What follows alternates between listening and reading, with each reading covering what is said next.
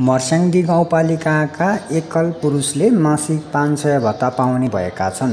पालिकाभित्र रहेका ती वर्षदेखि उनसत्तरी वर्षसम्मका एकल पुरुषले सामाजिक सुरक्षा भत्ता बापत मासिक उक्त रकम प्राप्त गर्ने भएका हुन्। गाउँपालिकाका अध्यक्ष अर्जुन गुरुङले भने गाउँपालिकामा स्थायी रूपमा बसोबास गर्ने एकल पुरुषलाई पालिकाको मङ्गलबार बसेको छयानब्बेौँ बैठकले गत फागुन महिनादेखि नै लागू हुने गरी सम्मान स्वरूप एकल पुरुषलाई पनि सामाजिक सुरक्षा भत्ता दिने निर्णय गरेको छ। एकल पुरुष भए पनि पेन्सन भएकालाई भने यो सेवा उपलब्ध नहुने उनको भनाइ छ। पालिका पालिका अध्यक्ष गुरुङका अनुसार नौ वडा रहेको यस पालिकामा तिरानब्बे एकल पुरुष रहेका छन्। गाउँपालिकाले तिन तिन महिनामा भत्ता वितरण गर्ने र निर्णय भए अनुसार गत फागुन महिना गत फागुन महिना सहितको एक महिना सहितको यही चैतको अन्तिममा भत्ता वितरण गर्ने तयारी भइरहेको गाउँपालिकाको महिला बालबालिका तथा ज्येष्ठ नागरिक शाखाका प्रमुख लक्ष्मी घलेले बताए।